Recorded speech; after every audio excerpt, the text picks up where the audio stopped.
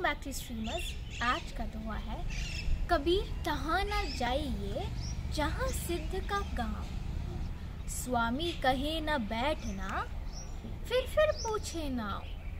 अर्थात कबीर दास जी कहते हैं कि कभी भी घमंडी लोगों के घर ना तो जाइए, ना ही उनके साथ उठना बैठना कीजिए। क्योंकि ऐसे लोग केवल और केवल जो आपका नाम है, उसी को पूछते रहेंगे।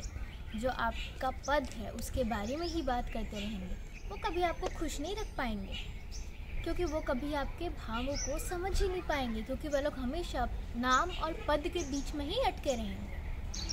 Kabir Das ji in this couplet narrates that one should not visit people who are greedy in nature because these greedy people are always stuck in the name and fame that a person has earn they will keep asking question related to the same and they won't be able to keep you happy because they will never respect your feelings nor they will understand you.